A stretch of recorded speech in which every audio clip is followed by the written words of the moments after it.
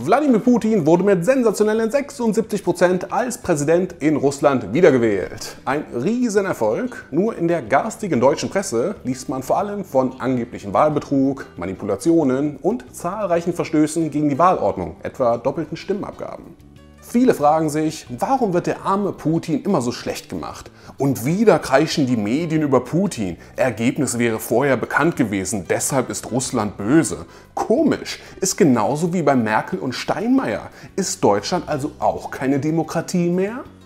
Diese geistreiche Bemerkung wurde von Steffen Königer getwittert, AfD-Landtagsabgeordneter in Brandenburg. Zwei Dinge dazu. Ich kann Merkel nicht leiden und bei der Wahl von Steinmeier war ich dabei und habe gegen ihn gestimmt.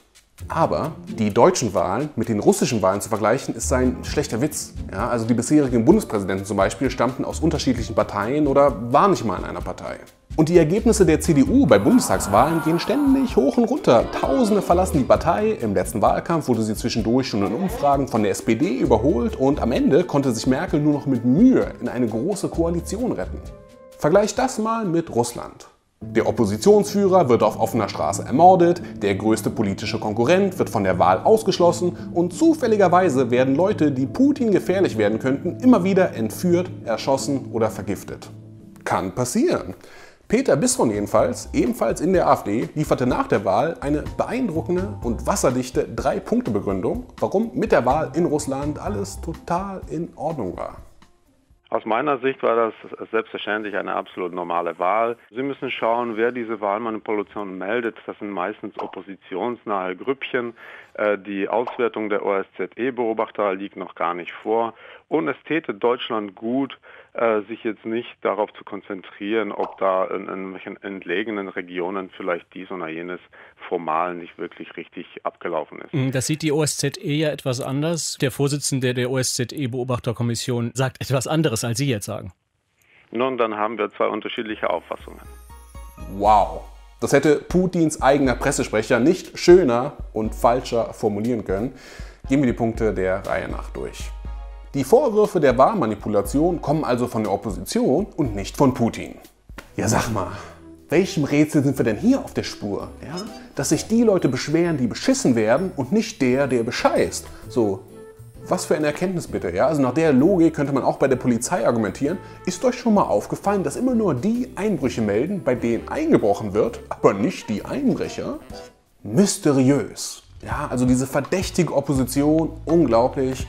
Und der zweite Punkt ist noch dreister. Die endgültige Auswertung der Wahlbeobachter liege noch gar nicht vor. Ja, die endgültigen Auswertungen liegen noch nicht vor, denn die Wahl war ja gerade erst.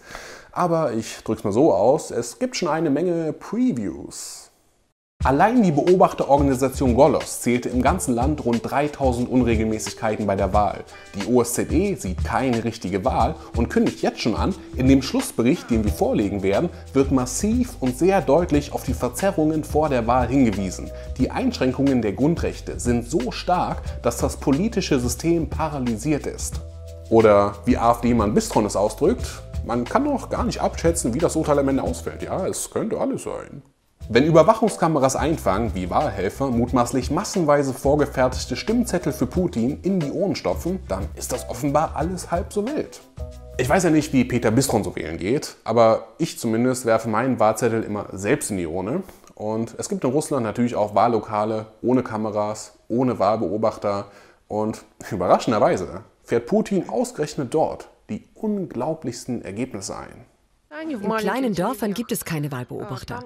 Manchmal haben sie dort eine Wahlbeteiligung von 100 Prozent und ebenso viele Stimmen für die Partei der Macht. So etwas gibt es nicht.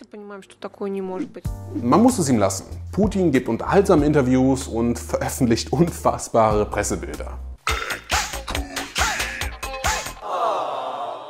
Es wundert mich nicht, dass er bei vielen so beliebt ist, aber trotzdem sollte einen das nicht blind machen für die tausenden Hinweise auf Wahlmanipulation oder für politische Gegner, die von der Wahl ausgeschlossen werden oder auf mysteriöse Weise ums Leben kommen.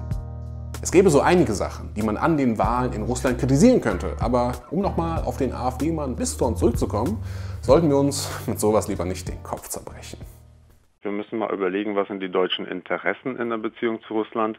Ähm, wir haben unsere Exporte zu sichern. Also ähm, wir sollten auch äh, richtig gewichten äh, in Bezug äh, auf Russland in unseren außenpolitischen Prioritäten. Dann sollten wir sagen, im Fall Russland, Menschenrechte sind uns da nicht ganz so wichtig, Exporte sind uns wichtiger. Wir sollten auf jeden Fall eine pragmatische Politik verfolgen und äh, dem das richtige Gewicht geben. Seht ihr, und hier hört die Argumentation für mich irgendwo auf. Ja? Also wenn du fest davon überzeugt bist, Manipulation hat es nicht gegeben, ja, alles nur Fake News der westlichen Lügenpresse, dann okay, so, glaub an was du willst, mach das. Äh, kleine Anmerkung nur kurz, diese angeblichen Lügenmärchen, ja, die kommen nicht ursprünglich von der deutschen Lügenpresse, sondern die kommen von Bürgern und Aktivisten aus Russland selbst, ja, die da teilweise unter Einsatz ihres Lebens und ihrer Gesundheit alles dafür tun, dass sich in ihrem System etwas ändert. So, aber das wie gesagt nur am Rande. Aber wenn du von der Argumentation schon so weit draußen bist, dass du an dem Punkt ankommst, wo du sagst, ja, also kann schon sein, dass es da halt diese schlimme Unterdrückung gibt, aber hey, Hauptsache, wir können da Geschäfte machen, unsere Exporte sichern, so, dann bist du nicht neutral, dann bist du nicht pragmatisch, dann ist es dir egal. So, und diese Gleichgültigkeit, diese Geld vom Menschen Mentalität, diese Profitgier, das ist genau das, was Politik und irgendwo auch die gesamte Welt manchmal so verdammt schwer zu ertragen macht.